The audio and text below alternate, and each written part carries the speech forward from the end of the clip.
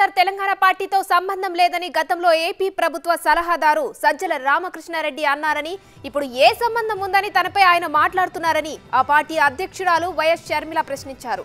తాము మాత్రం సంబంధం లేదని అనుకుంటున్నామని చెప్పారు. ఏపీలో రోడ్లు విద్యుత్పై తెలంగాణ సీఎం కేసీఆర్ బాహటంగానే విమర్శించారని చెప్పారు. సజ్జల గారు ముందు మీ కథ మీరు చూసుకోండని షర్మిల వ్యాఖ్యానించారు. తెలంగాణలో తెలంగాణ రాజకీయాలలో అడుగుపెట్టిన మొట్టమొదటి రోజే సంబంధం లేదు అన్న వాళ్ళు సజ్జల రామకృష్ణారెడ్డి గారు ఈరోజు ఏ సంబంధం ఉందని నా గురించి మాట్లాడుతున్నారు? మేమైతే సంబంధం లేదని అనుకుంటున్నాం. మీరు మాట్లాడుతున్నారు అంటే సంబంధం మళ్ళీ కలుపుకుంటున్నారా? సంబంధం ఉందనే? ఏమనుకోవాలి మేము? సజ్జల గారు సమాధానం చెప్పాలి. అసలు కేసీఆర్ గారు బహిరంగంగానే సింగిల్ రోడ్ అయితే ఆంధ్ర డబుల్ రోడ్ అయితే తెలంగాణ చీకటి అయితే ఆంధ్ర వెలుగైతే తెలంగాణ అని చెప్తున్నారే. మరి దానికి ఏం సమాధానం చెప్తారు సజ్జల గారు? ముందు మీ కథ మీరు చూసుకోండి సార్. మేడం సజ్జల మాట్లాడితే దాదాపు జగన్మోహన్ రెడ్డి గారు మాట్లాడినట్టే అది మీకు తెలుసు. ఎవరికైనా ఇదే సమాధానమే. రైట్ ఇక షర్మిల చేసిన ఈ వ్యాఖ్యలకు సంబంధించి పూర్తి అప్డేట్స్ మా ఇన్పుట్ ఎడిటర్ పవన్ అందిస్తారు లైవ్లో పవన్ చెప్పండి షర్మిల చేసిన ఈ వ్యాఖ్యలు ఏపీ సలహాదారు సజ్జలపై చూడాలంటారు. వాస్తవానికి షర్మిలా షర్మిల చేసిన వ్యాఖ్యలు సజ్జల ఉద్దేశించి కాదు స్వయంగా తన సోదరుడు జగన్మోహన్ రెడ్డి ఉద్దేశించి చేసిందేనని భావించాల్సి ఉంటుంది. గత కొద్ది రోజులుగా ఇద్దరి మధ్య పొసగడం లేదు ఆస్తుల వివాదం నడుస్తుంది ఇద్దరి మధ్య సయోధ్య కుదర్చడానికి ఇద్దరి మధ్య రాజీ కుదర్చడానికి అటు విజయమ్మ కావచ్చు రకరకాల వ్యక్తులు అనేక రకాలుగా ప్రయత్నించినా ఎక్కడ కూడా సయోధ్య కుదరలేదు. తనకు ఇవ్వాల్సిన ఆస్తులను తనకు రావాల్సిన వాటాను ఇవ్వడం లేదు జగన్మోహన్ రెడ్డి అనేది షర్మిల కొత్త కొద్ది రోజులుగా చేస్తున్న వాదన. అయితే ఈరోజు షర్మిల మీడియా సమావేశం నిర్వహించారు. ఇక్కడ కాళేశ్వరం పైన ఆమె చేసిన వ్యాఖ్యలకు కొంతమంది స్పందించారు బీఆర్ఎస్ నేతలు. దానిపైన ఆమె మీడియా సమావేశాన్ని ఏర్పాటు చేశారు. అటు కాళేశ్వరం ప్రాజెక్టులో జరిగిన అవినీతి పైన కాళేశ్వరం కాళేశ్వరం ప్రాజెక్ట్ కుంగుబాటు పైన ఆమె మాట్లాడారు. అనంతరం మీడియా ప్రతినిధులు అడిగిన స- ప్రశ్నలకు ఆమె సమాధానం చెప్పారు. వాస్తవానికి వైఎస్ఆర్టీపీ స్థాపించిన మొదటి రోజునే సజ్జల రామకృష్ణారెడ్డి మీడియా సమావేశం నిర్వహించారు. ఆమె తీసుకునే నిర్ణయాలతో మాకు ఎటువంటి సంబంధం లేదు. షర్మిల అక్కడ పార్టీ పెడితే ఏంటి పెట్టకపోతే ఏంటి ఆ వ్యక్తితోనే తమకు సంబంధం లేదన్నట్టుగా వాళ్ళు వ్యాఖ్యానించారు. అయితే దీనిపైన ఇటీవల అటు వై కేసీఆర్ ఆంధ్రప్రదేశ్ రాష్ట్రాన్ని ఉద్దేశించి ఖమ్మం జిల్లాలో పాల్గొన్న సభలో ఆయన కొన్ని వ్యాఖ్యలు చేశారు.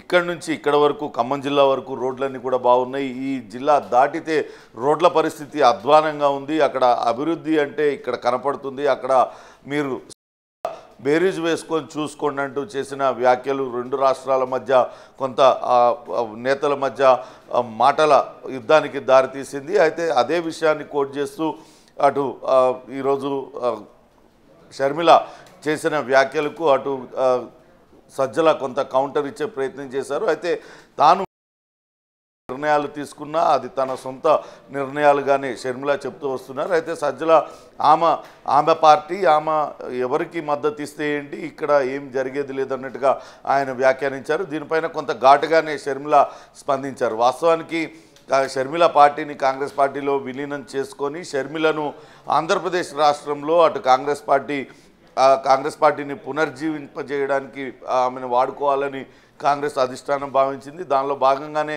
రకరకాలుగా ఆమెతో చర్చలు జరిపారు అనేక సార్లు చర్చలు జరిగారు. అయినా విలీన ప్రక్రియ ఎందుకో వాయిదా పడింది. కానీ ఈరోజు అటు సజ్జల చేసిన వ్యాఖ్యలపైన కొంత సీరియస్గానే స్పందించింది. ఖచ్చితంగా తను తను ఇప్పటికే ఎటువంటి సంబంధం లేదనుకుంటున్నాను కానీ తన గురించి ఏమాత్రం సంబంధం లేని వ్యక్తులు తన గురించి ఎందుకు మాట్లాడుతున్నారు? అంటే తిరిగి మరోసారి సంబంధం కలుపుకోవాలనుకుంటున్నారా?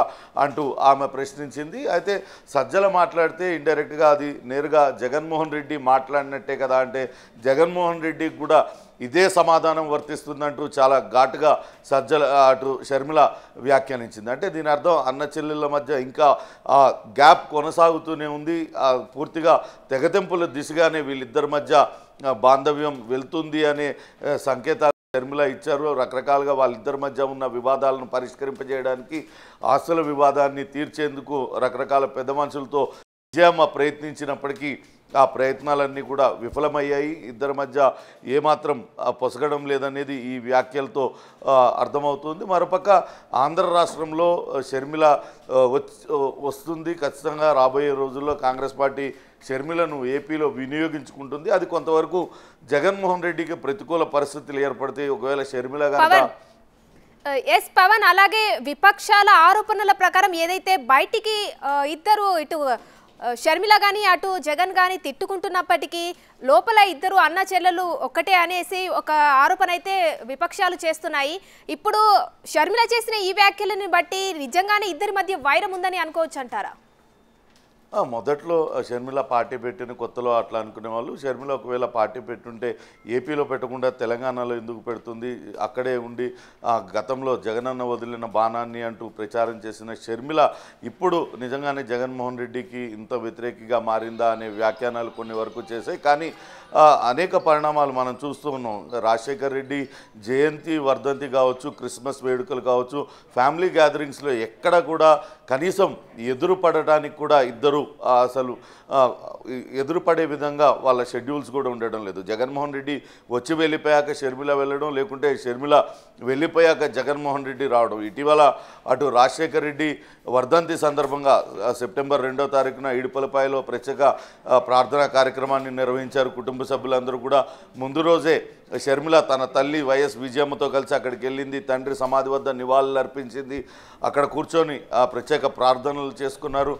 అనంతరం అక్కడి నుంచి షర్మిల వెళ్ళిపోయిన తర్వాతే జగన్మోహన్ రెడ్డి అక్కడ రావడం. గతంలో కూడా ఇదే మాదిరిగా జరిగింది. అంటే వీళ్ళ మధ్య ఆ గ్యాప్ కూర్చోలేనంతగా పెరిగింది. మరోపక్క షర్మిలను అటు కాంగ్రెస్ పార్టీ ఈ అన్నతమ్ముల అన్న చెల్లెల మధ్య వస్తున్న ఈ గ్యాప్ను కాంగ్రెస్ పార్టీ వినియోగించుకోవడానికి ప్రయత్నిస్తుందన్న ఆరోపణలు కూడా గతంలో కొంతమంది చేశారు. కానీ షర్మిల ఏపీ పాలిటిక్స్లోకి ఎంటర్ కాకుండా ఉండేందుకే ఈ రకంగా సజ్జల రామకృష్ణారెడ్డి వ్యాఖ్యలు చేసి ఉంటారనే ఊహాగానాలు అయితే రేగుతున్నాయి. అంతేకాకుండా అన్న చెల్లెల మధ్య ఇంకా గ్యాప్ పూడ్చలేనంతగా పెరిగిపోయింది అనేది కూడా ఇప్పుడు షర్మిల వ్యాఖ్యలను బట్టి తెలుస్తుంది.